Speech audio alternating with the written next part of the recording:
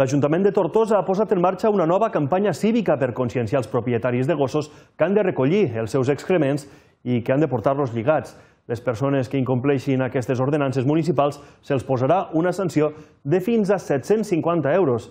Per advertir a la població, els agents cívics repartiran en les properes setmanes fulletes informatives traduïdes a fins a 8 idiomes. Per altra banda, durant els mesos de novembre i desembre també es va fer una campanya per a gestionar correctament els residus. En aquest sentit, s'han interposat 34 denúncies a ciutadans que tiraven les escombraries dins els contenidors. Des del consistori han destacat que en els 10 mesos anteriors, quan no es feia la campanya, se'n van interposar 57. Tot i això, l'alcalde de Tortosa, Jordi Jordan, assegura que cal continuar treballant per a que aquestes infraccions vagin a la baixa.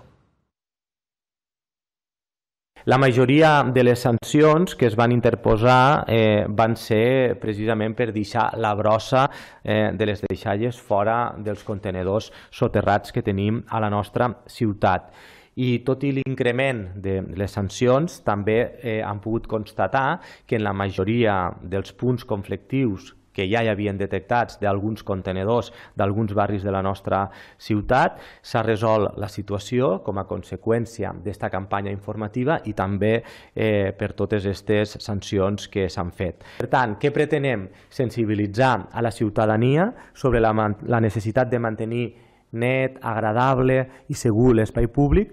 També, evidentment, defensem el benestar animal i entenem que és necessari que es puguen esbargir i també recordar que tenim diferents zones d'esbarjo caní on els gossos poden moure's lliurement repartides per tota la ciutat.